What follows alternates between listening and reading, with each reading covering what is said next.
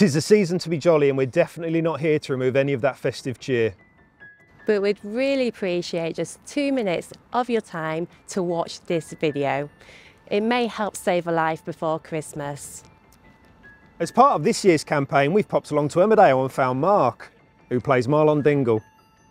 We are going to put Mark here through a mock road traffic collision scenario to show you the devastating consequences of what drink or drug driving may cause. Fire service, is it just you in the car? It is, yeah. Okay then, do a quick check over. Yeah, yeah. There's no pains. Nope. Ambulance, ambulance are on the way. So there's going to be a lot of banging. Okay.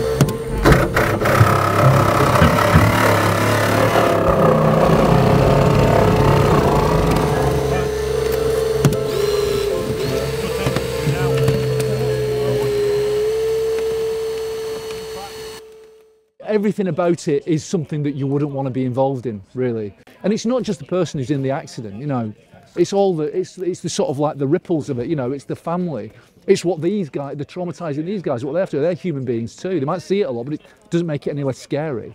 They cut you out of the the wreckage you know, and you so you hear this really terrifying grinding noise. You can hear metal being torn, but it's like being in a really, like being in a horror film.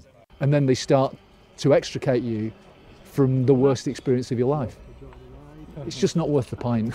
It's just, it's just not. I hope people will listen because it is. You, you wouldn't, you wouldn't wish it on your worst enemy. Please do not drive whilst under the influence of drink or drugs. As part of this campaign, we're asking you to call it in if you think anyone is going to drive under the influence of drink or drugs. Call it in on 999 and save a life you